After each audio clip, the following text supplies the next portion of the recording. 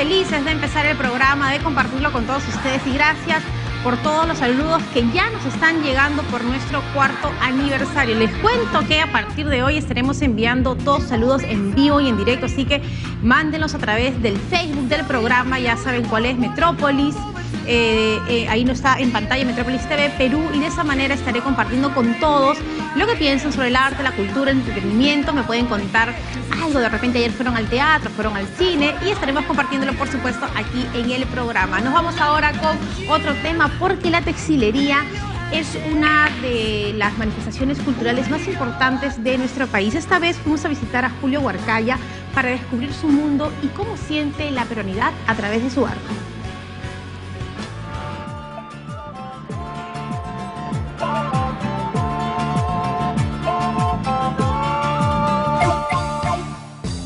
Hola amigos de Metrópolis, mi nombre es Julio Huarcaya. Les doy la bienvenida a mi taller de tejidos en telar aquí en el barrio de Santana, en Ayacucho.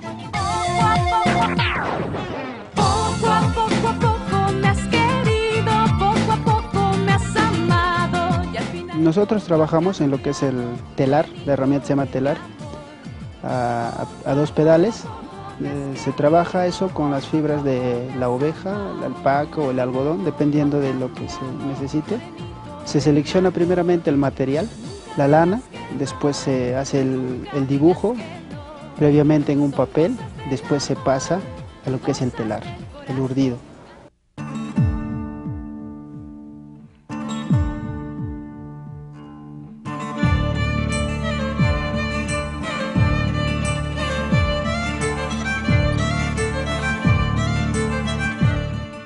Es un telar hecho a base de madera. Tiene sus partes, cada parte tiene una función. ¿ya? Entonces ahí este, es una máquina artesanal, ¿no? Entonces por eso el trabajo también es artesanal. No, no interviene para nada lo que es la tecnología o la industria moderna, todo es manual, artesanal.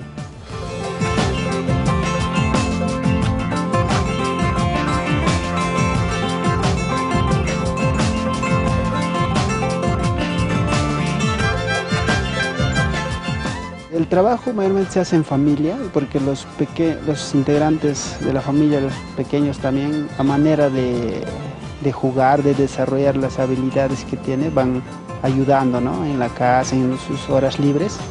Y eso es mayormente, y se hereda este trabajo, es de generación en generación. Yo heredé de mi padre todavía, ¿no? Entonces, yo vengo trabajando más de 22 años en este trabajo, ¿no?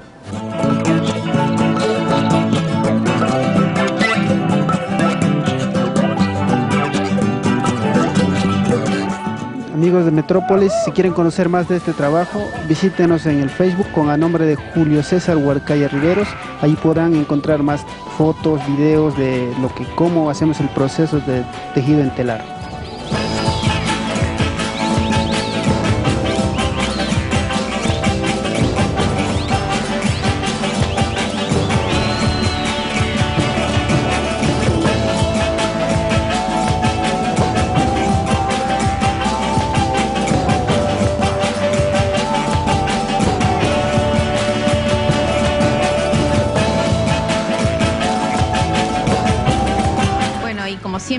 Muy especial a todos nuestros artesanos, siempre orgullosos de ustedes y de todo lo que hacen para contribuir a nuestra identidad nacional. Cuando uno ve una artesanía dice, ese es el Perú, ese soy yo y esta es mi tradición. Gracias de verdad por lo que siempre hacen por todos nosotros, sobre todo manteniendo el conocimiento de generación en generación. Nos vamos ahora con otro tema porque ya lo habíamos anunciado aquí en Metrópolis, lo que iba a ser el Festival de Artes Escénicas en Comunidad en San Juan del Urigancho. Pero lo que les voy a mostrar es el éxito que se vivió en este gran encuentro cultural en comunidad.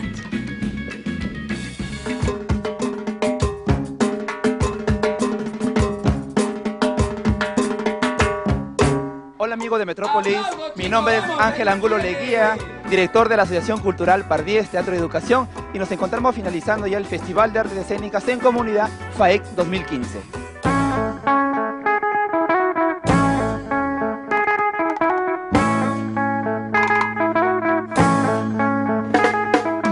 Este año el FAEC se, ha celebrado tres días, el viernes 10, sábado 11 y domingo 12 de abril. ¿No? El primer día hemos tenido también un pequeño pasacalle, hemos tenido presentaciones de teatro, circo, algo de malabares, malabares con fuego, danzas también hemos tenido, urbana y danza folclórica.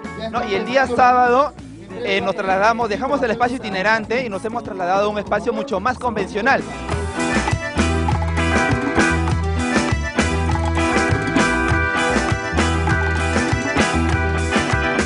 Lo que nosotros como Partido de Educación buscamos es no realizar el arte por el arte, ¿no?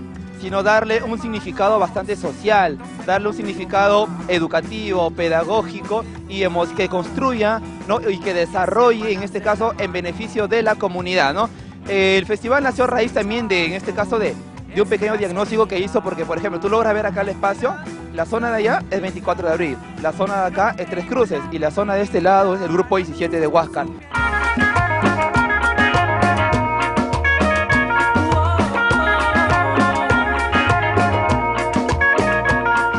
Carácter del festival va dirigido en dirección a los niños, jóvenes y adultos y personas de la tercera edad.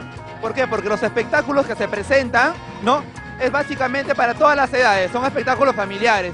Y también ya en el aspecto profesional, en función al seminario, para trabajadores sociales, artistas, educadores, sociólogos, eh, pedagogos, psicólogos, ¿no? Interesados en la temática, ¿no? Amigos de Metrópolis, si quieren conocer más sobre el FAEC, Festival de Artes Escénicas en Comunidad, pueden buscarnos en el Facebook como FAEC, FAEC 2015 y ahí van a poder las fotos, videos de lo que ha sido el festival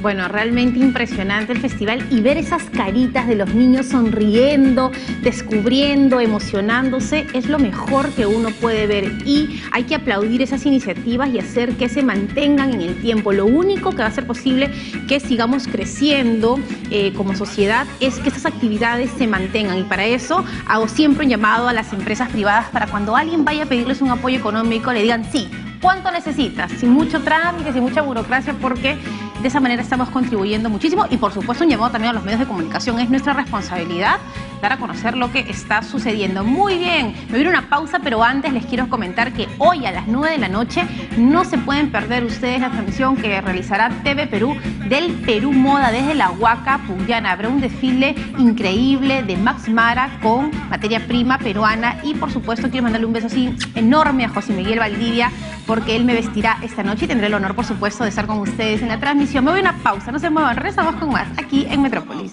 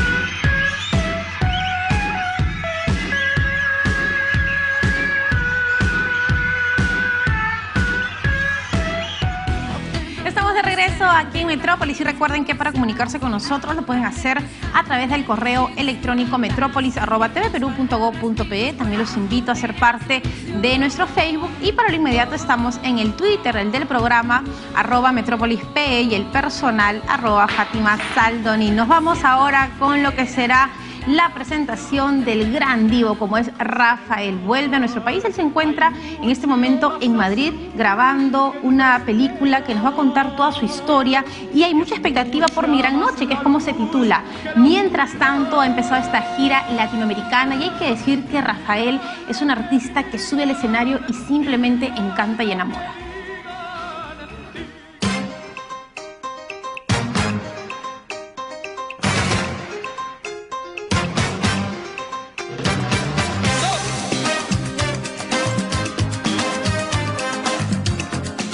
Amigos de Metrópolis, soy Lupe Zapata y estoy aquí para presentarle a nuestro querido Rafael.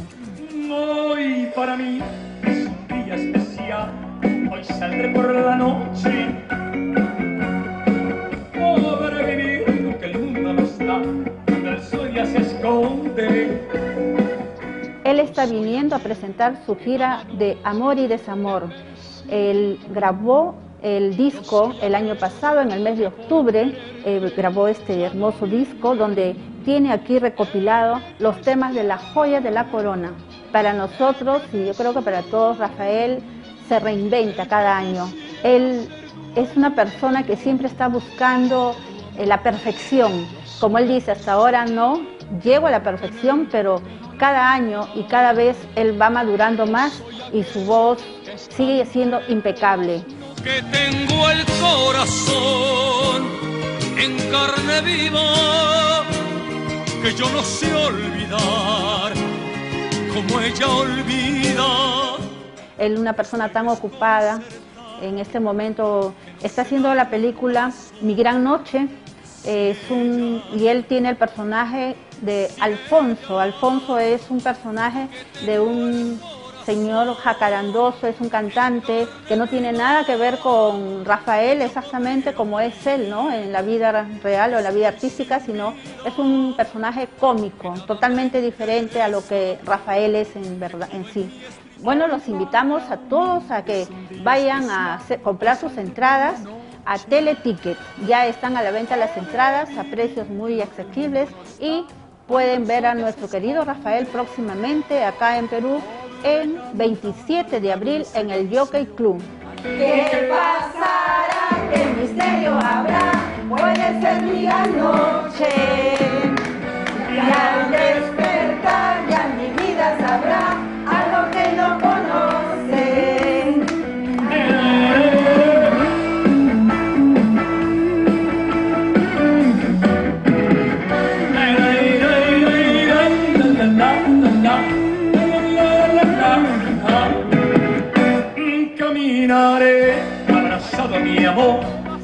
realmente yo estuve en el concierto anterior y es impresionante la vitalidad, la energía, la calidad de Rafael. Estuve en el escenario todo el tiempo y cada salida era una cosa que nos dejaba así con una emoción especial y además que él tiene pues una relación única con el Perú. Acá se le quiere mucho y ustedes han visto a través del club de fans que trabajan todo el año promocionando la vida y el trabajo de gran Rafael. Nos vamos ahora con otro tema porque cuáles son los estrenos cinematográficos de esta semana como siempre, Metrópolis se los cuenta.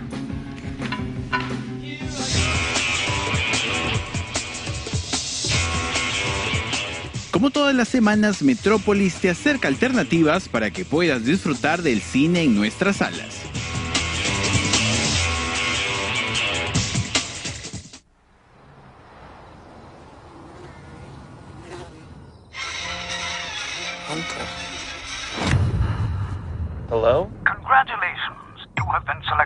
Part in a one-of-a-kind game show.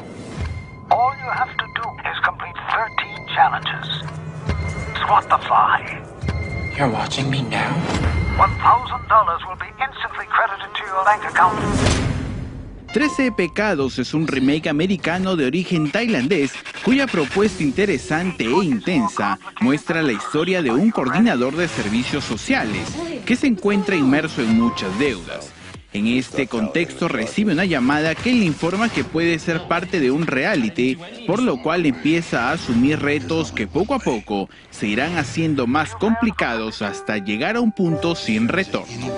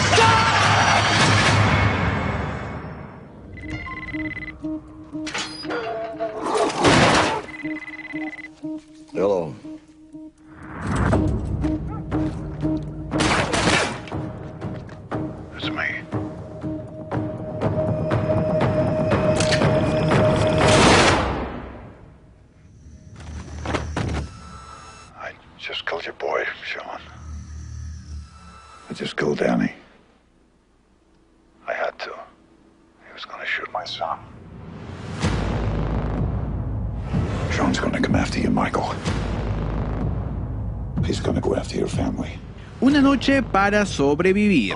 Thriller de acción cuya dirección ha sido calificada como dinámica y vigorosa. Esta se soporta en la actuación de Liam Neeson y Ed Harris.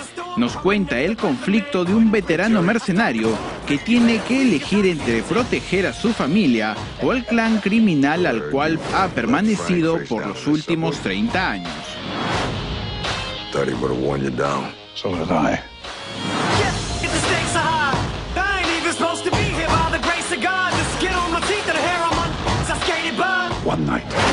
To figure this out. One night. How much in your face am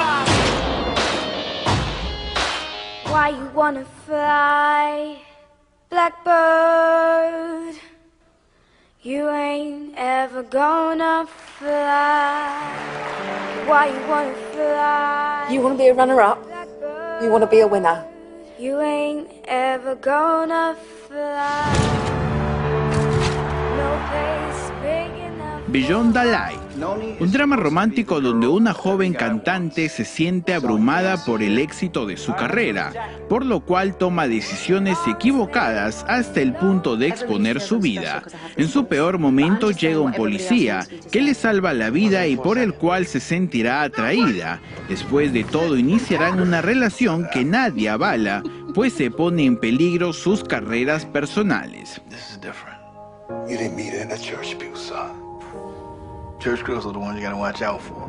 Cause I hear you loud as a bomb, wanting a shoulder to I don't know how to play this game, Hughes. Here and now, you're This thing, it's not good for her.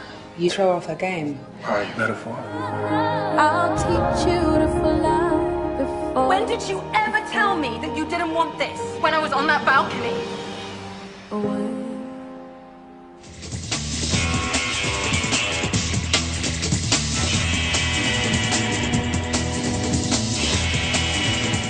Esperamos disfrutes del cine y si buscas algo alternativo, recuerda que siempre tienes proyecciones de cine en diferentes centros culturales de la capital.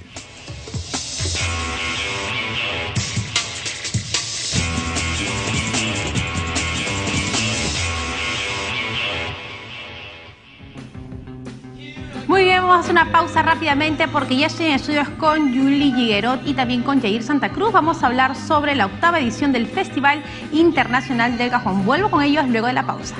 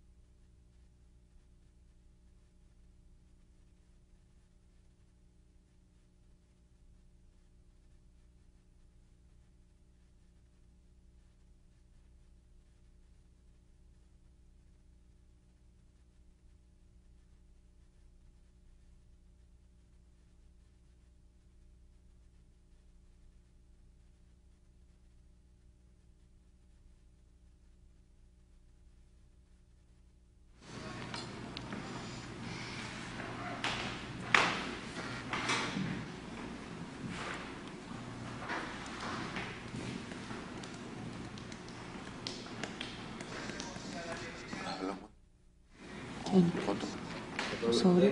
Escucho como bulla, me están hablando, ¿no? ¿Se acuerdan? No, ese que el fueron salga como el viernes Sí, pasado. lo- creo que me quieren decir algo, pero escucho así como de... Sí, pa, sí, Pablo, te escucho. Voy con cuña del programa y vas tocando un poquito de cajón. Yo te paso la voz. Sí, está hablando con... ¿Quién le dijo?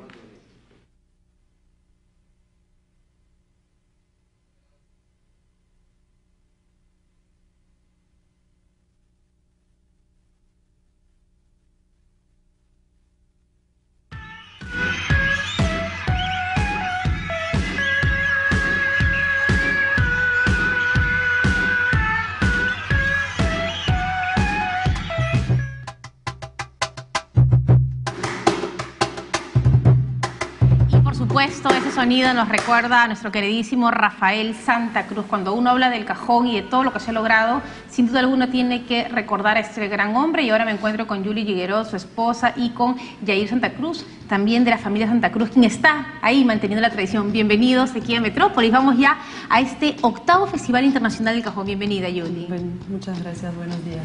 Bueno, cuéntame, ¿qué hay para esta edición? Una edición tan especial porque es una edición de homenaje ¿no? a toda la obra de Rafael. Sí, sí, bueno, esta, esta edición obviamente está dedicada de principio a fin a, a Rafael, pero lleva muchísimas sorpresas.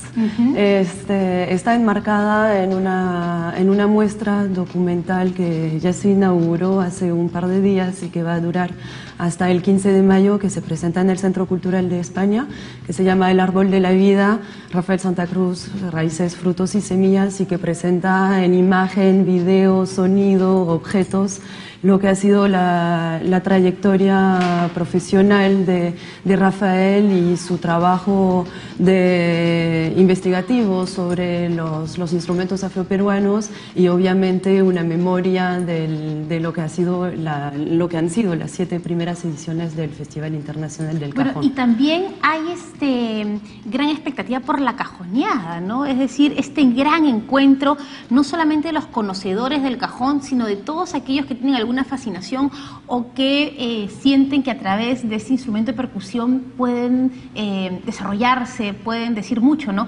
¿Qué, qué es para ti esta cajoneada, Yair? Para todos nosotros es súper importante, es la fiesta con la que abrimos el festival, es como le decimos a casi todo el mundo que así suena el cajón.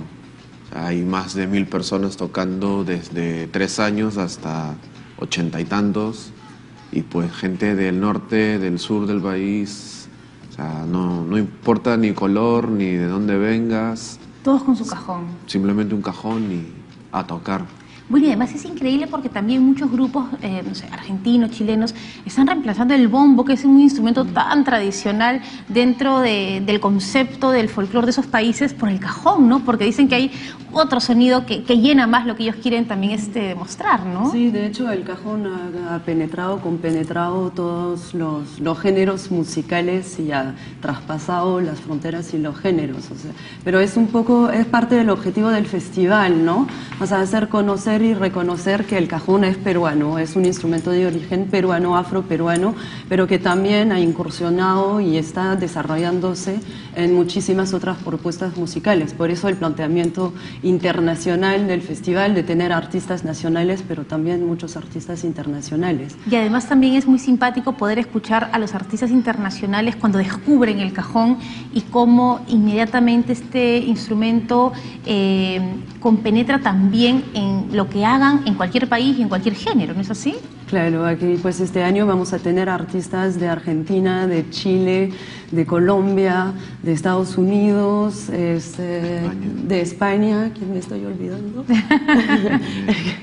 Tenemos conciertos toda la semana, del 25 de abril al 2 de mayo en el Centro Cultural de, de España, clases maestras un- a las 11 de la mañana, a las 2, a las 2 de la tarde y toda la programación está eh, disponible en la web este, www.cajonfestival.pe. Va a ser un- un- una semana muy rica e intensa. Julie, yo ahora empecé en el noticiero diciendo, muchas veces he tenido el placer de, de entrevistar a, a Rafael y él me decía que no le importaba que su nombre salga, él lo que quería es que la gente comprendiera el significado del cajón como instrumento, como parte de nuestro patrimonio. Y tú que has estado a su lado, eh, ¿qué crees que, que él sentiría en estos momentos donde todos estamos unidos por el cajón y, él tenía un sueño, ¿no? Sí, bueno, creo que en realidad eh, ni, ni yo ni, ni, ni Yair hemos este, vacilado dos segundos en, en decidir tomar la posta y seguir con, con la organización del festival. Creo que para Rafael el festival era como un cuarto hijo y que la mejor forma de, de rendirle homenaje y de, reconocer su labor era seguir el camino marcado. Bueno, Yuli, yo te agradezco mucho por esta labor. Sé que ahora hay que mezclar muchas cosas, la casa, el festival y todo, pero vale la pena porque eh, eso es lo que Rafael quería y también todos te agradecemos por todo el esfuerzo. Y Yair, si hablamos de Rafael, tenemos que escuchar el cajón para sentirlo aquí también presente. Así que vamos a despedirnos. No se, no se olviden que es del 25 de abril al 2 de mayo y la página web es www.cajonfestival.pe. Ahí van a tener toda la información, los horarios, las clases maestras, los conversatorios y, por supuesto, todos disfrutando del cajón. ¿Nos vamos a ir entonces? Sí, dime, Yuli. Solamente permíteme hacer un llamado a toda la gente que tenga cajón o no tenga, que se encuentre uno de aquí al 25 de abril, que los esperamos en la Plaza de Armas el sábado 25 de abril a las 10 de la mañana para la gran cajoneada que Vamos a vayan batir otro récord, ¿ah? Exactamente, necesitamos a todos para poder batir el récord. Muy bien, Yuli, un placer tenerte aquí. A ver, Yair, nos vamos recordando y cómo suena ese cajón.